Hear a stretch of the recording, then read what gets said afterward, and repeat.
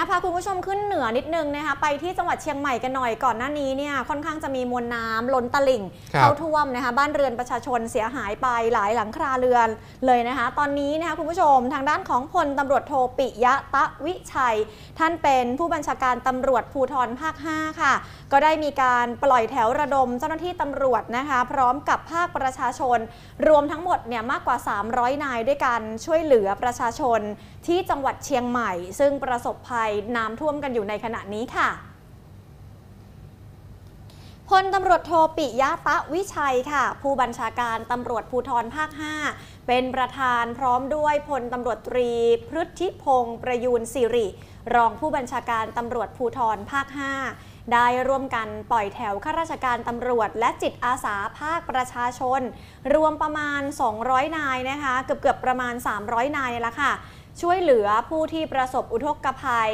จัดการบรรจุนะคะถุงกระสอบทรายด้วย เพื่อที่จะแจกจ่ายไปช่วยเหลือประชาชน แล้วก็บรรเทาความเดือดร้อน ให้กับประชาชนนะคะรวมไปถึงมีการกำชับการปฏิบัติการป้องกันอาชญากรรมของเจ้าหน้าที่ตำรวจ ให้เพิ่มความถี่ในการออกตรวจด้วย ซึ่งตอนนี้ค่ะ อาจจะมีผู้ไม่หวังดีหรือว่ามิจฉาชีพเนี่ย อาศัยในช่วงจังหวะเวลานี้ในการก่อเหตุได้นะคะ ทางด้านของคุณพิยดาตะวิชัย เป็นประธานชมรมแม่บ้านตำรวจภูธรภาค 5 พร้อมกับคณะแม่บ้านตำรวจค่ะก็มีการจัดรถครัวสนาม ประกอบเลี้ยงอาหารให้กับผู้ประสบภัยด้วยนะคะ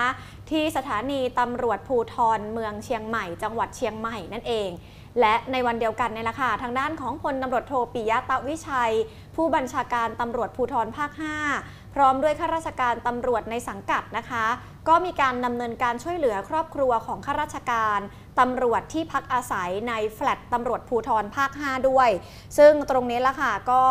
มีผู้ที่ได้รับประสบปัญหาอุทกภัย หรือว่าน้ำท่วมในขณะนี้ โดยมีการนำอาหารจากรถครัวสนามประกอบเลี้ยง แล้วก็มีอาหารแห้ง มีน้ำดื่ม เทียนไขนะคะ ไปมอบให้กับครอบครัวข้าราชการตำรวจ เพื่อที่จะช่วยบรรเทาความเดือดร้อนจากเหตุ